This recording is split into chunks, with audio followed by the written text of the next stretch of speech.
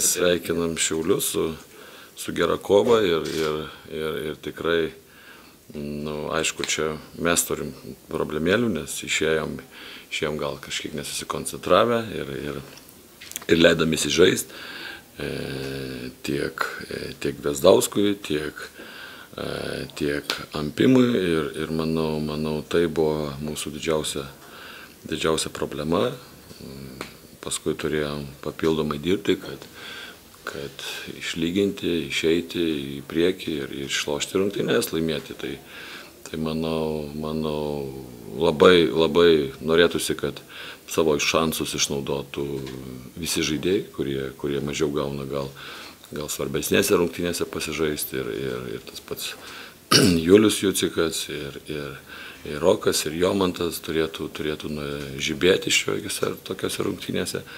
Nors aš neskaitau, kad šiauliai labai silpni pagal rezultatą šiandieninį jie, jie gale, bet, bet potencialą komanda turi ir, ir manau per va, tokias kovas, per tokias rungtynės jie, jie tikrai, tikrai gali, gali tobulėti.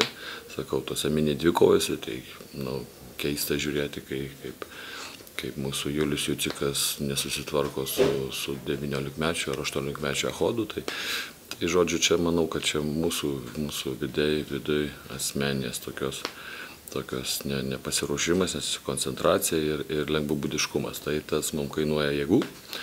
Bandėm pataupyti šiandien į Loganą, nors vienu metu jau buvo karšta ir buvo mintis gal jį išleisti, bet, bet džiaugiuosi, kad leidom, leidom jam palsėti. Džiaugiuosi labai už už, už Drew Gordoną, kuris, kuris žaidžia labai stabiliai.